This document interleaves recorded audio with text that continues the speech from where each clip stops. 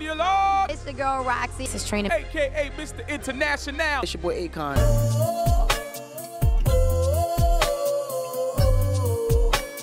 Ever wondered what it feels like to be backstage? Well, we're backstage at the Think Pink Rocks concert. This is all about breast cancer awareness. All these stars in South Florida to raise awareness for October. It's Breast Cancer Awareness Month. Fellas, tell the ladies in your life to get checked up. Ladies, get checked up. It could be the difference between life and death.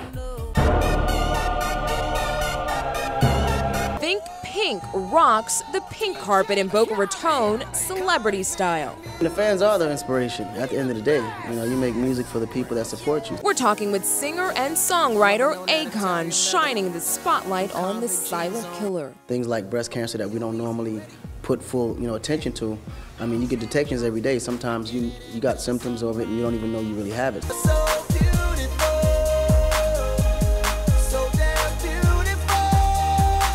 But it's all about being beautiful from the inside out and staying informed.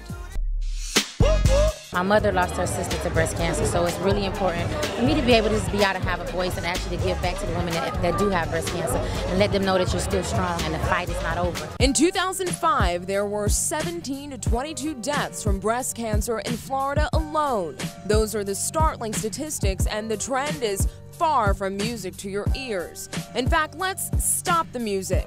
The Centers for Disease Control and Prevention says breast cancer is the most common form of cancer in women, and it's the number one cancer killer of Hispanic women. I think it's lack of information. I don't think it's that we don't take it ser- as seriously as we should. Is is when we look at the methods of testing ourselves and checking ourselves. It's something that some women might not be too comfortable with. So, if you can reach old and young alike, whether it's attracting them with the world's largest cupcake topped with larger than life sprinkles, or if it's a push to get the message through the music. Can I get a witness?